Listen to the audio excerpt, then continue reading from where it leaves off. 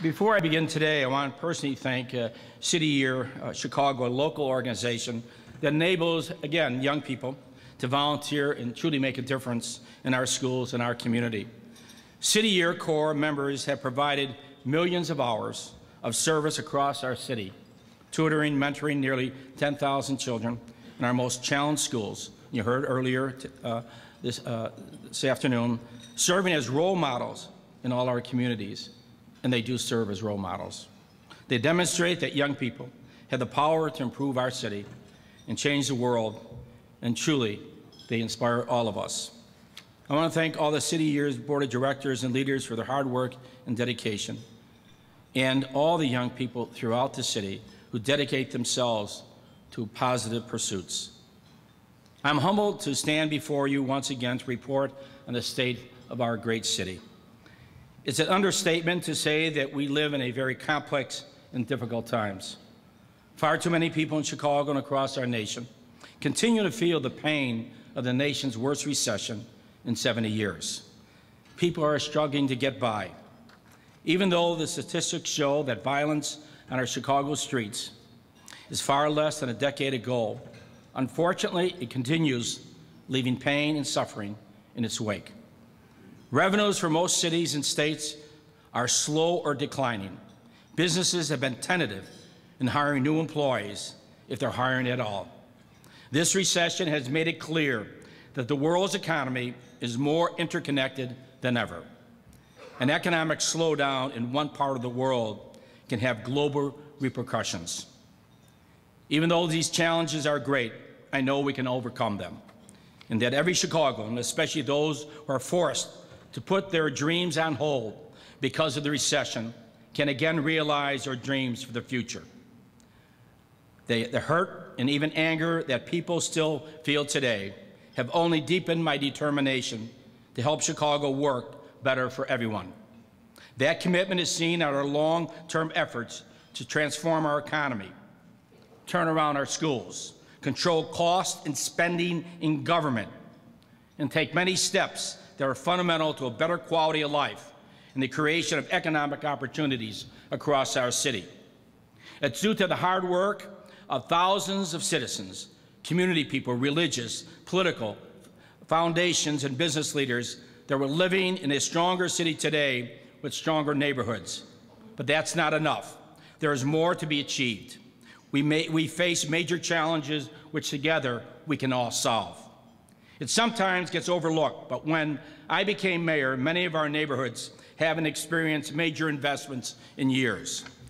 It's because together we had the foresight to invest in new schools, police and fire stations, parks, green space, housing, libraries, senior centers, along the streets, alleys, sidewalks, water mains, bridges, medians, that our neighborhoods are stronger today.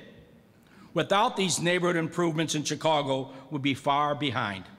Without the foundation for creating new opportunities as we emerge from this deep recession.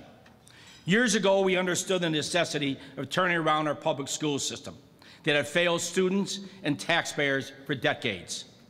As a city, we knew that a good education is a pathway out of poverty and a great equalizer in our society. As a result, many schools are improving. This year, overall test scores are up both at the elementary and high school levels. The dropout rate is falling.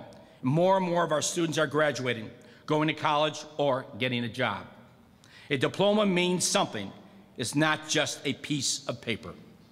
And there is greater accountability throughout the system. Our students have already made lasting progress for which they deserve our praise. So do our teachers, our principals and parents, and the business leaders who could contribute so much to the success every day. In the last decade, the City of Chicago has invested about $5 billion on capital improvements alone. Our schools aren't yet where they need to be. But I am convinced that all of us put our children first. Then Chicago's schools can become the best in America.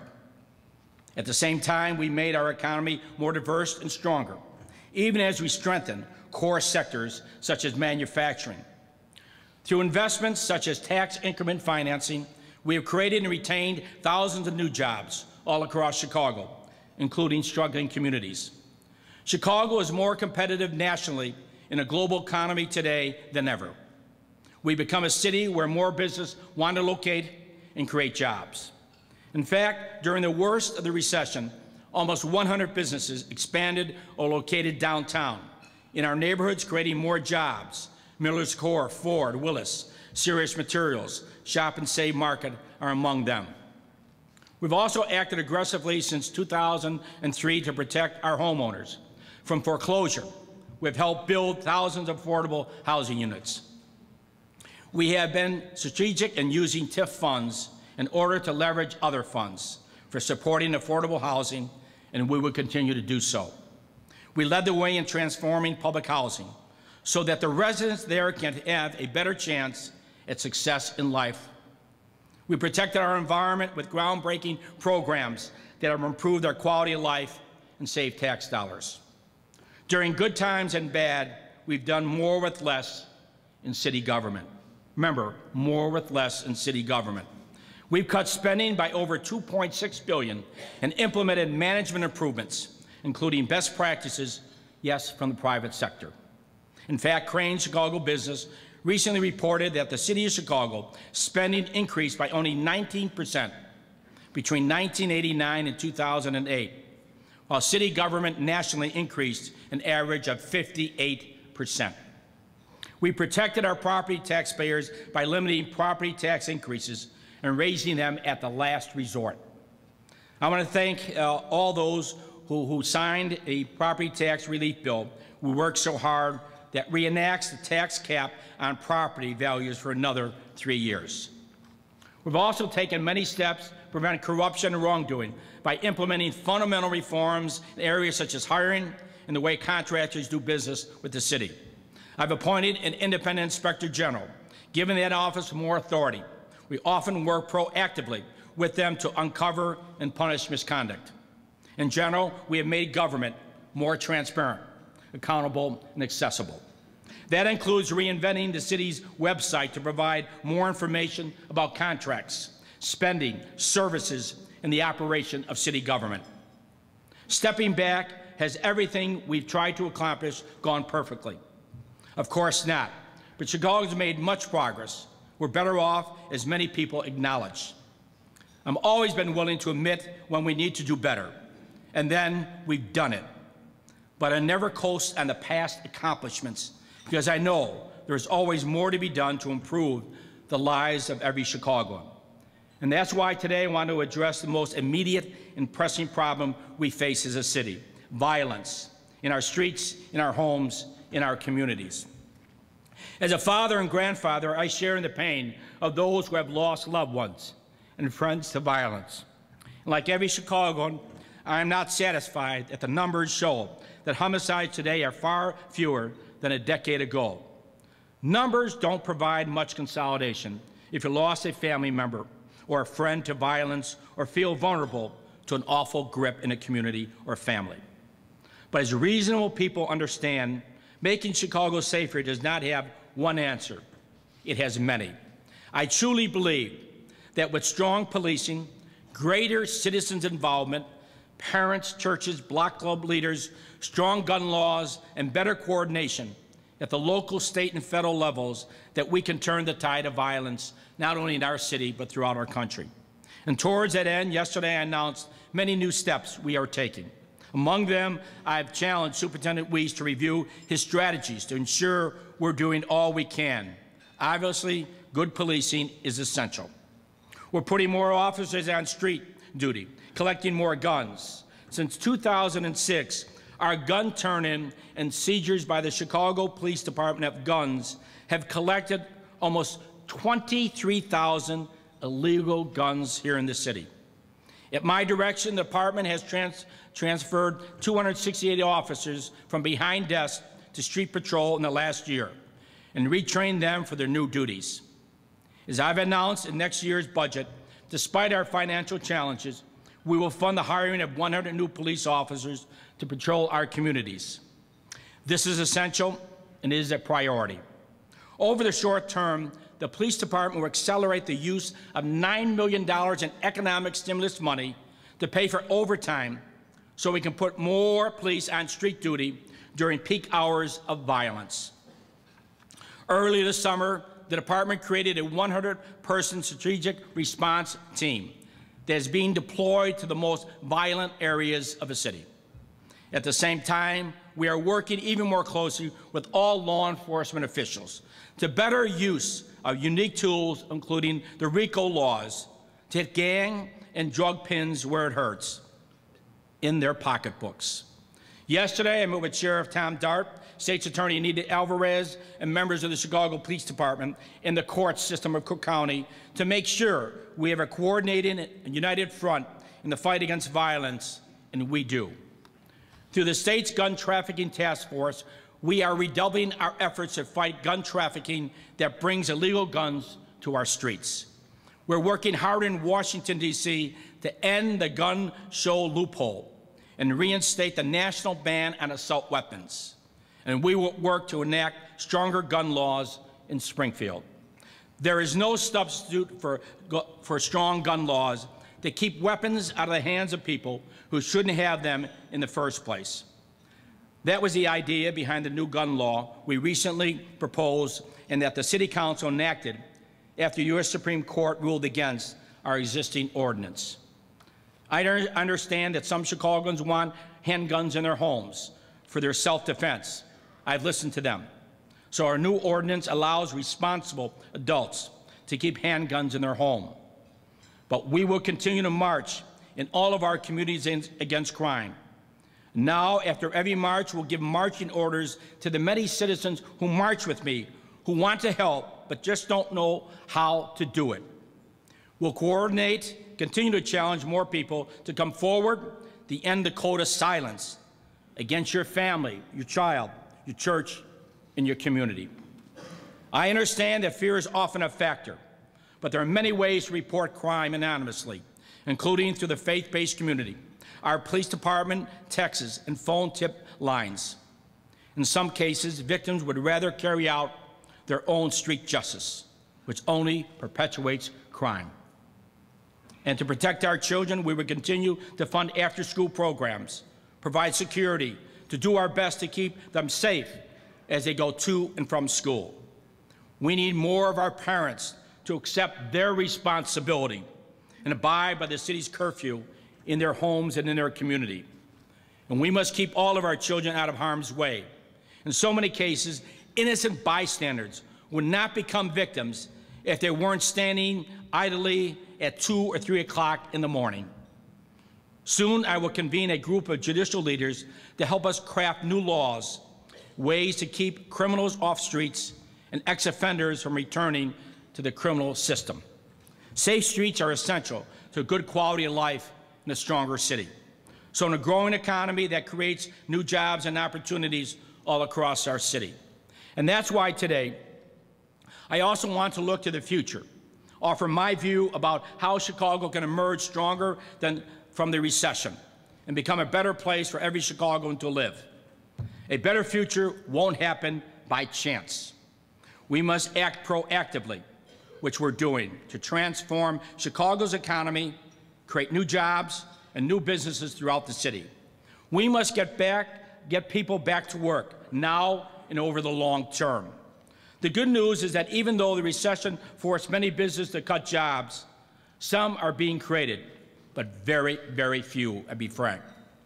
By no means have we or any major city achieved the sustained job growth we need because of this deep recession. The bad news is that we have to assume that any recovery will continue to be slow or slower, as will private sector job creation and any sustained growth in the city revenues. And that's our recent steps are so important. I want to thank thousands of Chicagoans in our community who supported bringing Walmart to Chicago. I want to thank the members of the City Council and thank the unions for listening and hearing the voices of people who want jobs, who want the store for their own communities. And this was a people's reaction from the community from the West and the South Side. The, the recent agreement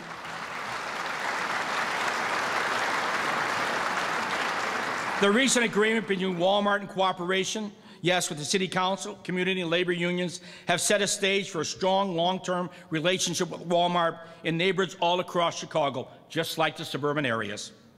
In just the last few weeks, we have approved new Walmarts in Chatham and Pullman communities. The company's long-range plans for Chicago stores will create thousands of temporary construction jobs, add thousands of permanent jobs, and generate 500 million additional tax revenues for the city. And the Walmart North Avenue store has already generated $4 million in sales tax revenue for the city since it operated in 2006. And just last week, we took another big step forward on a project that will create jobs, opportunities, and whole new neighborhoods on the southeast side of our city. We introduced an ordinance that authorizes the expenditure of TIF funds for phase one of the plan to redevelop the northern portion of the former U.S. Steel South Works at 79th and South Shore Drive. This project will return a long vacant piece of property to the tax rolls. The first phase will provide more than 840,000 square feet of retail and commercial space, almost 1,000 units of rental and for sale housing. Importantly, it will create 1,500 temporary construction jobs and nearly 1,000 permanent jobs for the southeast side of the city. And just last week, we saw Chicago's manufacturing future with the opening of the new assembly line for the Ford Explorer at Ford Motor Company's Southside plant, which will add 1,200 jobs and strengthen Chicago's manufacturing base. The fundamentals of Chicago's economy, which we put in place long before the national recession began, have helped us get through these tough economic times. Without our un unique location as a nation's transportation hub, our diverse economy, excellent transportation systems, strong neighborhoods, and educated workforce, our economy would have taken an even deeper hit during the recession. There are core strengths, and we've worked hard to maintain and build and rebuild on them during these tough economic times. And President Obama's economic stimulus program has helped us weather the storm. I want to thank him and Congress for their support. Moving forward, we will continue to capitalize on our location and the sheer size of our city, in our market, as well as new immigrants and the growing number of young people as among our major economic strengths. But we almost also must bring the jobs of future to Chicago to further diversify our economy and greater opportunity. In recent years, we have worked especially hard to target emerging business sectors we believe would increasingly become the foundation of Chicago's 21st century economy. They include technology, clean energy, healthcare, financial services, hospitality, biosciences, innovation, transportation, and of course, manufacturing and small businesses. We're already achieved some success in expanding these sectors. Now, we must keep them growing and make sure Chicago's workforce is prepared at, at all skill levels to be hired for the jobs they provide. We want Chicago to be a city of opportunity, of good paying, skilled jobs for everyone. Success won't happen in six months or a year. In America and in Chicago, we must take a long-term view like China does when they look 20 or 25 years down the road and planning their economy and making major investments to support their jobs and their growth. We must understand that in the 21st century, our competitors for new jobs are not New York or Los Angeles, or places like Shanghai, Singapore, Mumbai. The fast-growing technology field will continue to be the basis for our long-term economic growth and job creation. Chicago has already attracted a number of leading technology manufacturers as Google and Navteq. Cultivating this growing field is essential if we are to be more competitive as a city. Similarly, we demand for clean, clean energy has grown. Chicago and the region have stepped up. We're already home to 14 major wind companies and the nation's largest urban solar farm working with Exelon. As the marketplace continues to demand cleaner technology, Chicago's green reputation has helped position us to further expand our leadership in this area. Chicago has already has thriving healthcare and biotech sectors, supported by world-class hospitals and universities, many of which are pioneering breakthrough advances. Prospects for job growth in these and related fields, like nanotechnology, are as strong as the global demand for modern healthcare solutions will increase. At the same time, Chicago is consistently ranked as one of the world's top global financial centers. The Chicago Mercantile Exchange is one of the top three exchanges in the world. Chicago is a global leader in the growing financial trading industry. Chicago's strength in this field bodes well for economic future. In hospitality remains another growth sector. Even in the middle of the recession, in 2008, over 45 million domestic and overseas visitors came to Chicago contributing more than $11.8 billion to our economy.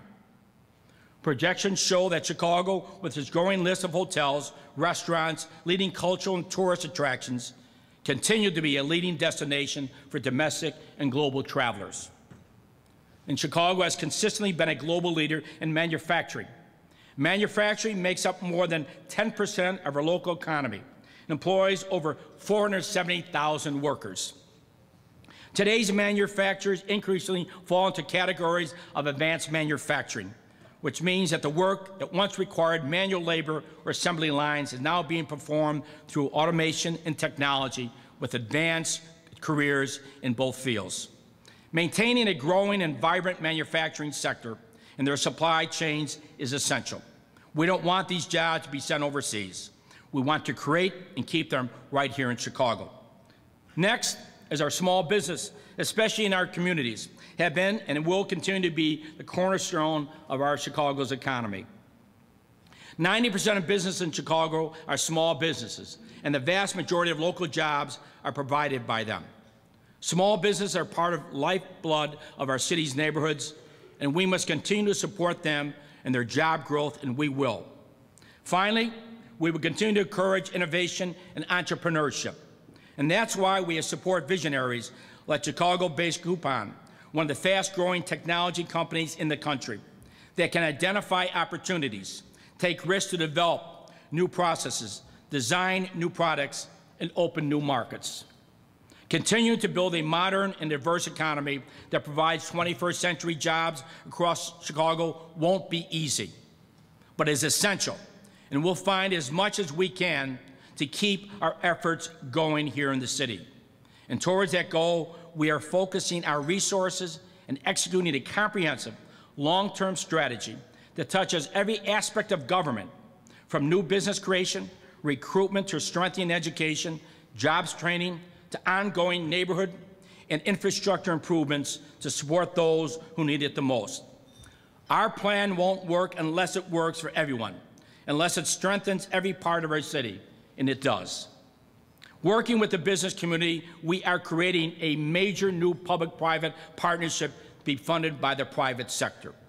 My goal is to bring 21st century jobs to Chicago, to support ongoing job growth by helping retain and expand businesses for the future that are already in Chicago. Through the partnership, which we are calling Chicago's Growth Accelerator, we will keep Chicago's among the top global business destinations in the future. The Accelerator Initiative will enable us to target high-growth business sectors, become a national leader in research and development investments, and attract and keep the best talent. We'll also use this fund to step our efforts to promote innovation and entrepreneurship. To encourage the growth of small business across Chicago, we will create a new city-based loan fund.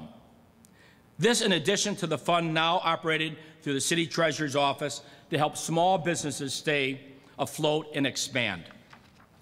We know that there's a high demand for small business loans, but in these tough economic times, traditional lenders are not adequately serving the market, especially for women and many times minority firms. Given the importance of neighborhood small businesses to our economic prosperity, I've invited two successful small business people to join us today. They both received assistance through the City's Small Business Solution Station, a program designed to provide entrepreneurs with free one-on-one -on -one business counseling. They reflect what can be accomplished by our city's entrepreneurs when they work with the city to get their business off the ground or grow them. This program has helped us tremendously. Gulia Isamalvo obtained a 5,000 small business loan, which helped open a dog grooming business. She used the money to purchase equipment and inventory to get her business opening. She also took advantage of the city's free business education workshops to help her start the business and prepare for the inspection. And on Wednesday, July 7th, she officially opened the doors to Furtsek Grooming, Daycare, and more located on North Ashland Avenue. Now that's a success.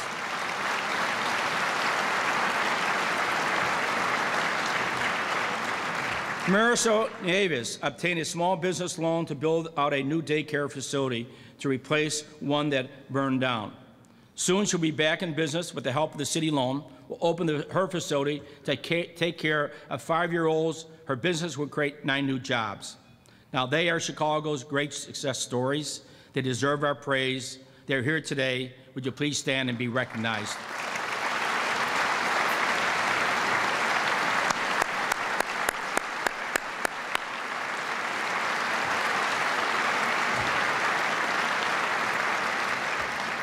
Thank you. We'll continue to find new ways to make it easier to set up and operate business, large and small. And we want to make it less cumbersome, the city does, to get permits, license inspections, to take other steps that are essential for business growth. Government should not stand in the way of business growth.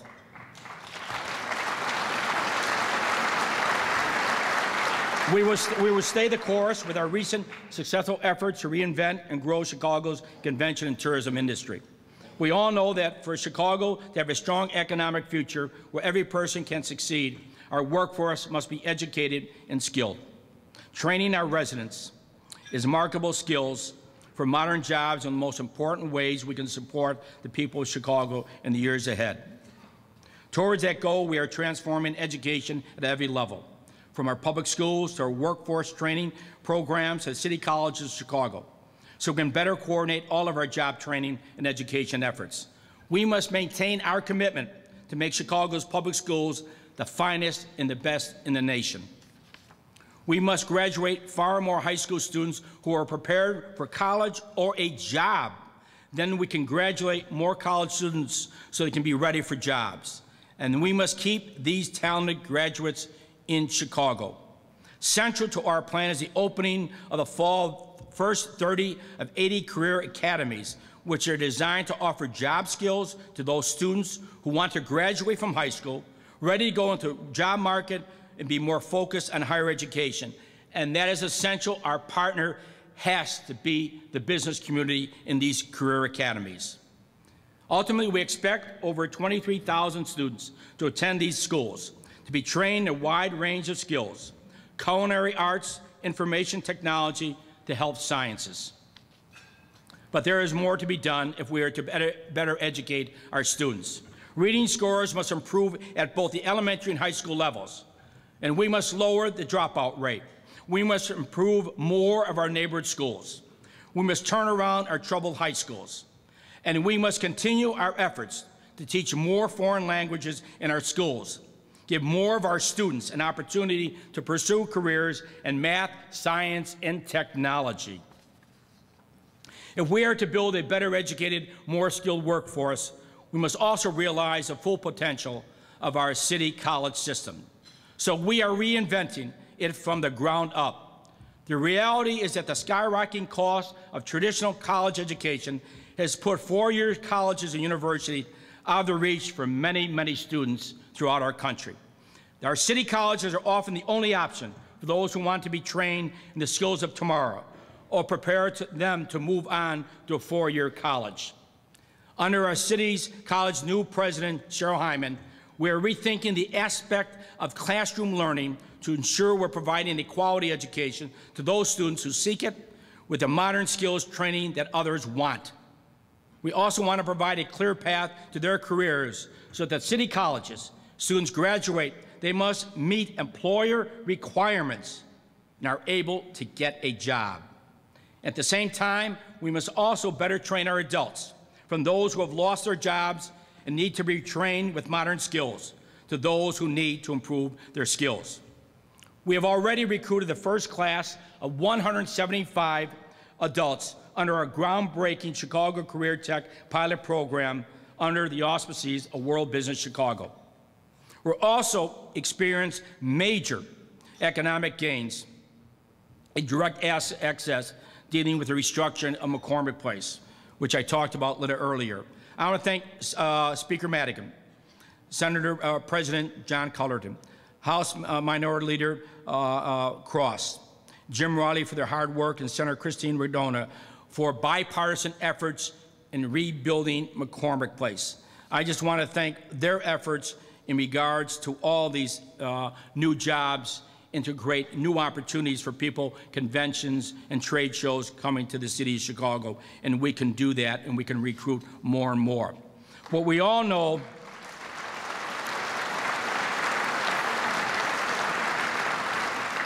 But we all know that in Chicago, a strong economic future uh, provides a succeed. Our workforce must be educated and skilled. That is the key, educated and skilled. Training our residents in marketable skills for modern jobs is one of the most important ways we can support the people of Chicago in the years ahead. And towards that goal, we have transformed our education at every level here from public schools, our workforce training programs, City College of Chicago, so we were better coordinated uh, all job training and education efforts. And we made our commitment to make Chicago the best school system in the country, and I'm very, very proud of that. But like anything else, we know what we can do. We know that uh, uh, the city colleges is a key with the Board of Education. And I'm very, very proud of where the city colleges are going. At the same time, we know that dealing with the Chicago Career Academy, which we've seen time and time again, that was a lost middle class of America, those who made America what it is today. They have been laid off because you do not have technology skills, many of them in our city. They have bought their homes, they pay for their taxes, and they have been forgotten by America. But I'd be very frank, Chicago did not forget the middle class. Our career tech is a six-month, six-day-a-week training program that features hands-on employer learning in partnership with the private sector. Two days of training, two days on-the-job skills, and two days of community service. And upon graduation, participants will have the skills they need to succeed in technology-based careers, including high-demand fields such as healthcare and telecommunications. And we have already scheduled five more classes through October of 2012, enrolling about 1,700 more adults in these programs. We have re reinvented our workforce development programs. And today, through our Workforce Investment Council, working with World Business Chicago, we are improving the way we invest more than $300 million in workforce development funds to ensure that every citizen who needs or wants to attain the skills of the future can do so through these new programs, which will bring skilled building opportunities directly to neighborhoods that need it the most here in our city. Even with these steps to create new opportunities, we must continue to update our neighborhood infrastructure. These investments improve, improve the quality of life, and they also create more and more jobs. We will soon announce the next phase of our capital improvement plan, through which we continue to make important neighborhood ward-by-ward -ward improvements here in the city of Chicago and we will continue to invest in new community anchors. In 2010, we, have opened a, we will open a new library, two new beach houses, the new Park District Field House, a new police station with more anchors scheduled to open next year. By the end of 2011, we have, we have opened eight new schools, completed four major additions and four major renovations. And in 2011, we'll open three new libraries, one new firehouse, and another new field house. Even with these austere budget times, we keep investing in infrastructure in our communities, which are important. Not as much as I like or we need, but other cities have discontinued all their investments in infrastructure. We've made it a priority to move forward with all this. We're also working hard to end the digital divide. Last week, we announced over $21 million in new grant funds for a digital excellence plan, through which under, underserved communities their small business and residents are being provided with 21st century technology. And at the same time, we will continue to improve our transportation infrastructure, which is essential to a modern economy and key to our success as a capital of the Midwest. And that's why completing the O'Hare Modernization Plan is critical. When it's done, we expect it will create over 195,000 jobs, generate $18 billion in additional annual economic benefits, and will keep Midway strong and competitive as well. It's also we're moving forward with our CREATE program to improve freight rail infrastructure, which is vital to our regional and national economic success. And that's why we're pursuing high-speed rail for our region. We'll work both in Springfield and Washington to get more transit and infrastructure funding to build a much more efficient system. And most importantly, we will continue to improve our Chicago's public transportation system. The CTA is already working on a number of enhancements, including new upgraded stations, new rail cars, elimination of slow zones, track improvements, and security enhancements. The CTA will continue to seek federal support for planning, expansion of rail lines to expand in geographical areas served by the L north, south, and southwest. When it comes to our building stronger and affordable communities, we will continue to promote stability and economic opportunity and help those who need it the most. Through our Human Infrastructure Fund, supported by parking meter lease revenues, we will continue to fund after-school and housing programs. We'll also fund programs that address vulnerable populations, including our seniors and people with disabilities. We'll also continue to aggressively help homeowners stay in their homes and avoid foreclosure. And we will continue to build and press uh, for affordable housing to spur economic development in underserved communities. Obviously, we'll continue to implement our groundbreaking plan for transformation of the Chicago Housing Authority to build stronger and mixed-income neighborhoods throughout our city. This plan has already transformed the lives of thousands of people. Although the recession has slowed it down, we will get it done.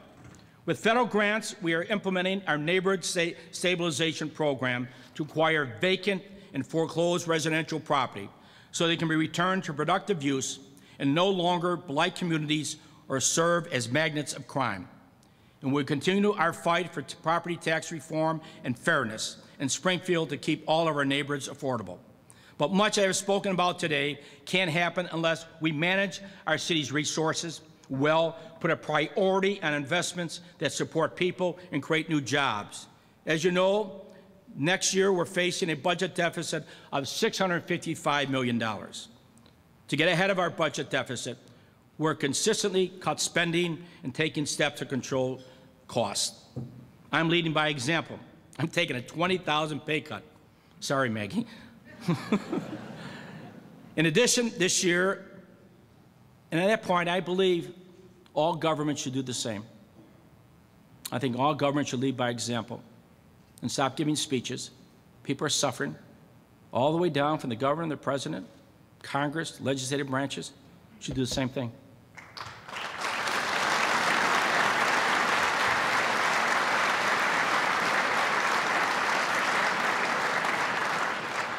In addition, this year we cut uh, non-personnel, non-safety spending across the board by another 6%, implemented many other cost-cutting uh, efficiencies.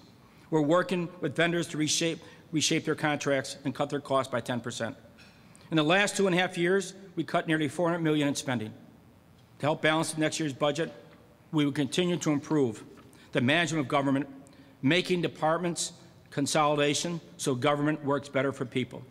But as I said at the City Club a few weeks ago, we cannot balance the budget through better management and growing revenues alone.